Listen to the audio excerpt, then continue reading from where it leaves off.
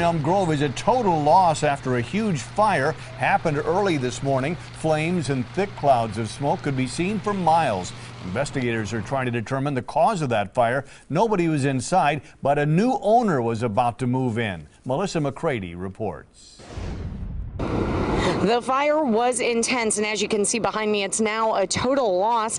Somebody had put an offer in on this house, was scheduled to close today, but now that's not going to happen. All of a sudden, there was just a huge bright light. This is the bright light that woke Michael Barney out of a deep sleep just after 2 o'clock this morning. The house was just totally in flames, completely side to side, and, and not a chance of putting it out. Firefighters from nine local departments rushed to the scene on Westover Road, but the flames had already spread fast.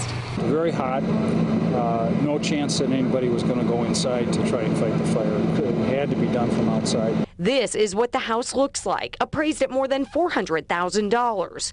Investigators say it was up for sale. A buyer recently put in an offer and was ready to close at 11 o'clock Monday morning, but then this happened. It's obviously devastating, but you know, the property can be rebuilt.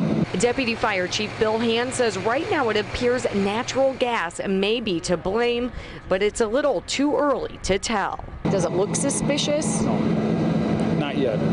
Investigators are still trying to determine the cause and where the fire may have started. On your side in Elm Grove, Melissa McCrady, today's TMJ4.